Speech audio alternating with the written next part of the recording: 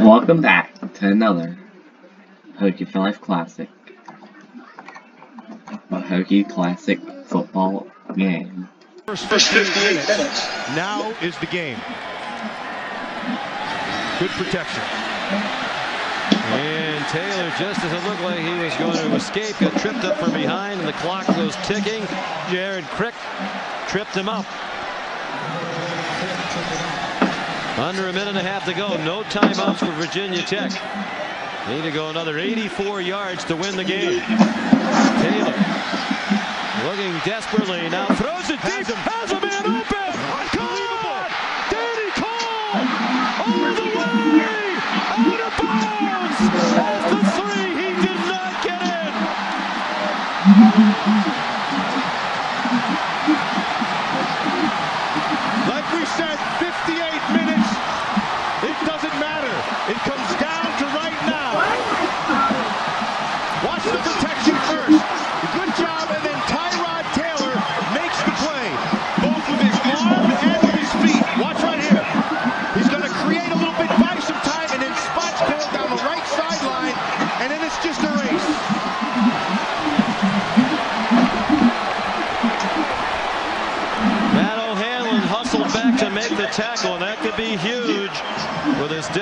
as yards have been to get for Virginia Tech, this could be a game saver. He clearly was out of bounds before he got in the end zone.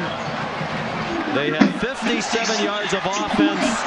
There he is on the sideline. The ball nowhere near the end zone yet. The crowd's roaring, but his foot is on the sideline. Yeah, I think they're going to look where to spot this thing, too. Where's the ball when he goes out of bounds? At the two, foot's inside the three, and the ball's ahead of him. They've spotted the ball in the three, so at the very least they should move it a yard forward. They had 57 yards of offense in this half before that play that goes for 81.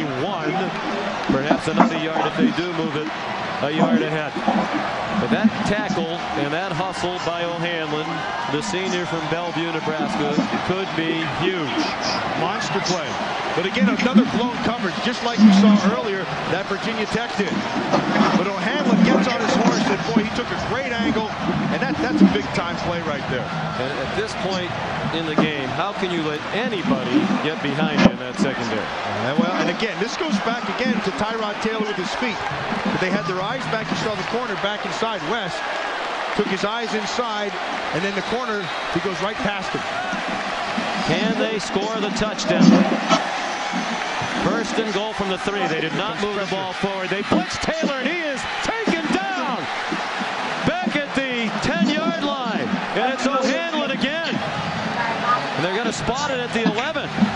No timeouts left. Under a minute to go.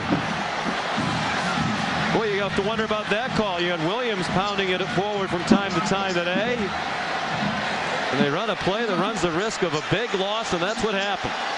And they're taking time as well. Pressure again off the right side.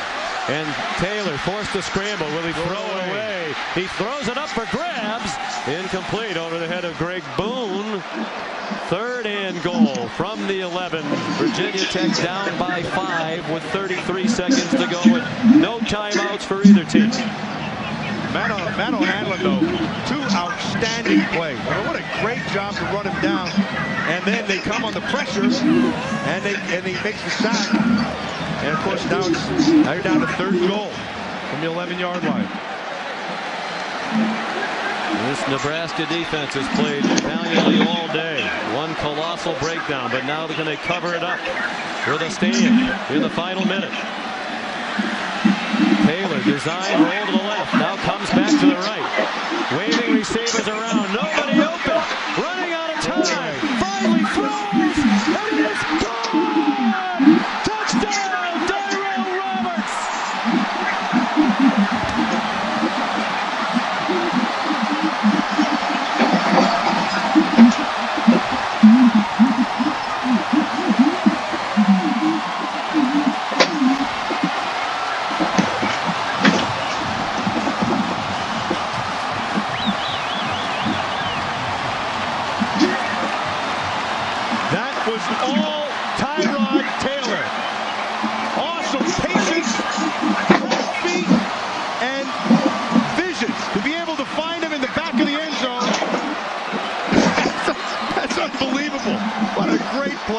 And now they're going to go for two here, Sean. 11 yard touchdown. They went 88 yards in five plays after they had done nothing all half. They're going to line up to go for two. The officials are reviewing this.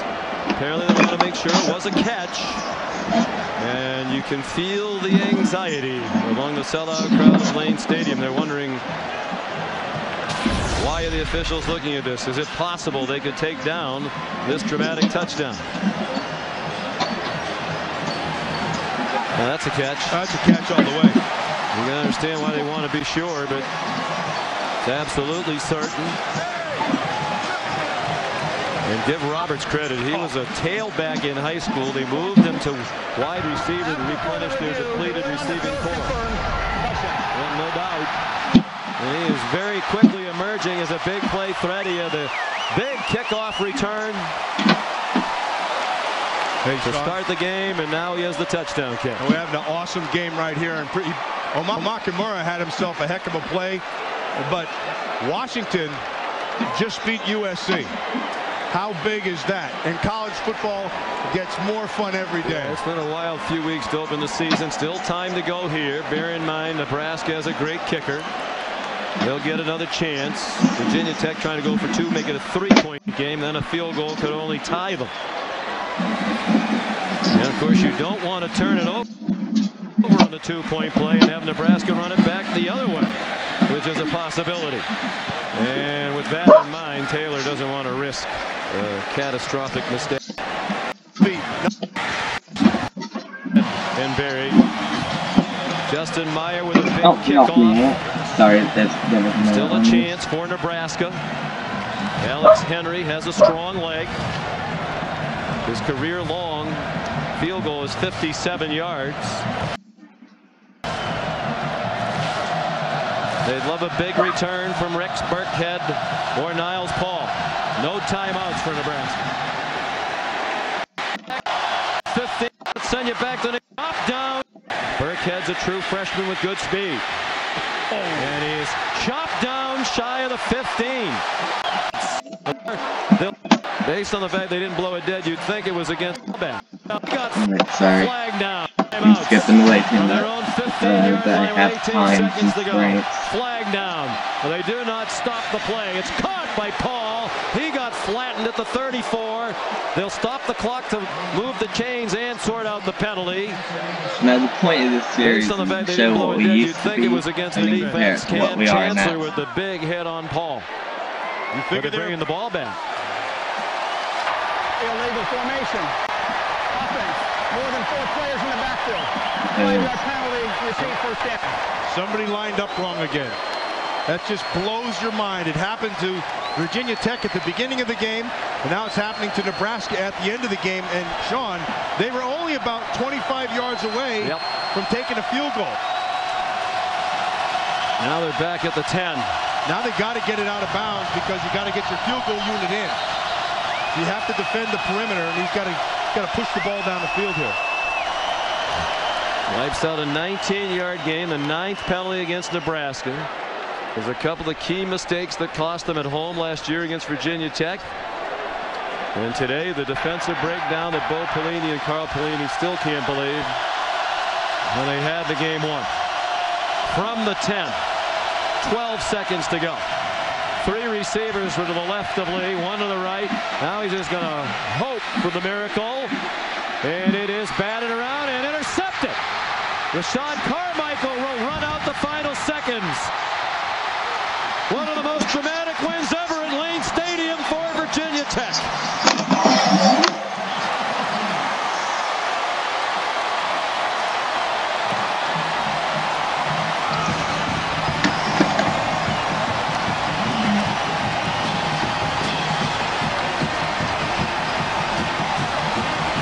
The funny thing is, we haven't rushed the field since this game, I don't think.